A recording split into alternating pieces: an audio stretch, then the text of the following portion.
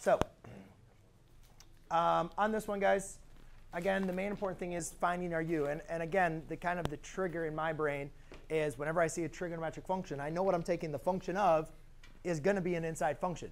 If that means I'm taking the chain rule for differentiation, or if I'm using u substitution on integration, I can easily see that that's going to be my um, x, or my u, I'm sorry.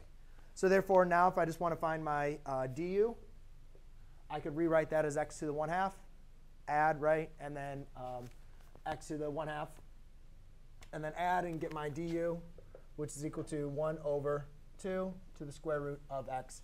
As I go ahead and differentiate, that would be times dx. So I'm just doing the du dx and then multiplying the dx on both sides, which I said at the beginning of class. I'll show you a couple of them, and then I'll start uh, moving over very quickly. Now, the problem is we don't have any u or 2 in here, do we? Right? So this does not equal our du. So what we'll need to do is multiply by 2 on both sides.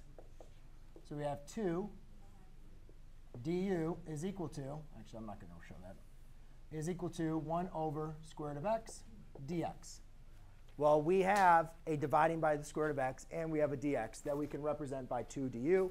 However, this 2 we're just going to put on the outside of the integral. The next thing is now I'd like to go ahead and evaluate if you guys can please be kind enough not to distract from people that did not finish the problem or want to make sure they got it correct, is let's go ahead and evaluate for our upper end points.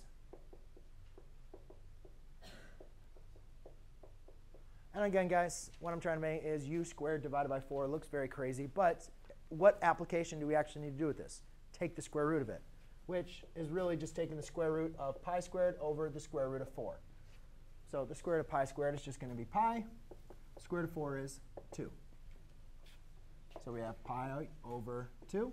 We're going to take this 2 out. And then I do u of pi squared over 36. And that's going to equal pi over 6.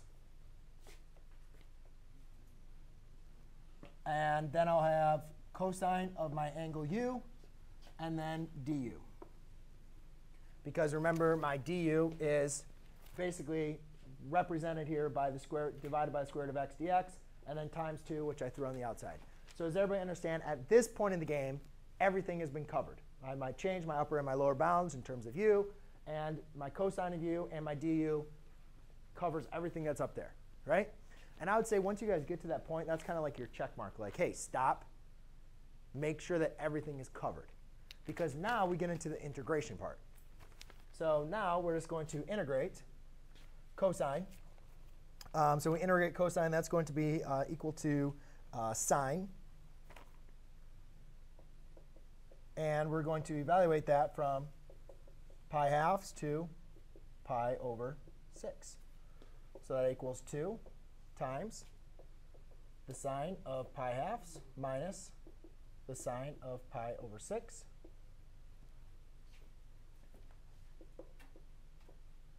sine of pi halves, if you guys um, go ahead and look, is going to equal to 1. And sine of pi over 6, that's the same thing as 30 degrees. The sine is going to um, equal to 1 half. 1 minus 1 half is 1 half. 2 times 1 half is equal to 1. Okay?